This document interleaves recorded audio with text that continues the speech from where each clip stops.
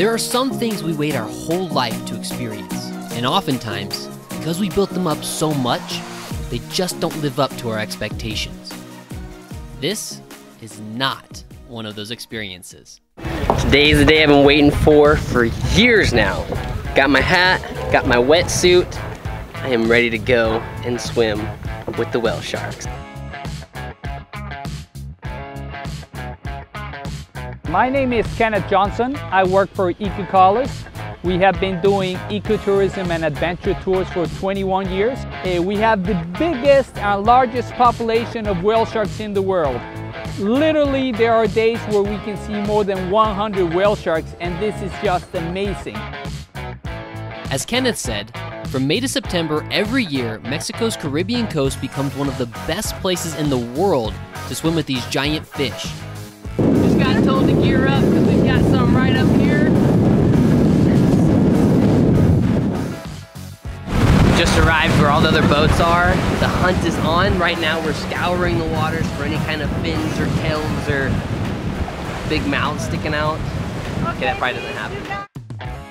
You have to be ready as soon as you arrive on the scene, because when the captain says go, you better hit the water swimming.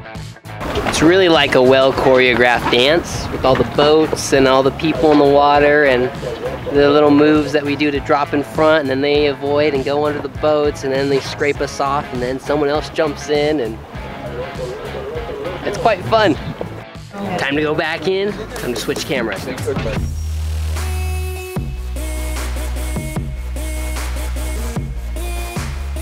Only two people at a time can enter the water with the guide. Everyone is set up on a rotation and gets at least two opportunities. Your turn will typically last as long as you can keep up. Marcella, I've been wanting to ask you, if we all get seasick and we throw up in the water, will they just follow us back? Will they eat no, that? they would say, I don't like burritos. You should eat healthy. They don't like Mexican I food. like plankton. We work with local NGOs that are doing research and conservation projects with the whale sharks, so we contribute with them. People, by participating and coming to the tour, they're helping us on that environmental component. You need to make sure that the company that you select have trained guides, trained captains. When you find a guide that's concerned on the environment and a captain that's also trying to promote and adopt good environmental practices all contributes to the enjoyment of the trip and to having a sustainable tour. I can't say enough how incredible the experience is to go out into the wild and jump into the water with these incredible creatures, these just gentle giants, and you're in their world, just sharing it for a minute or two, for as long as you can swim and keep up with them. It's, it's indescribable. It makes me feel really good about it too, um, seeing all the boats and all the people and knowing just how chaotic it could be.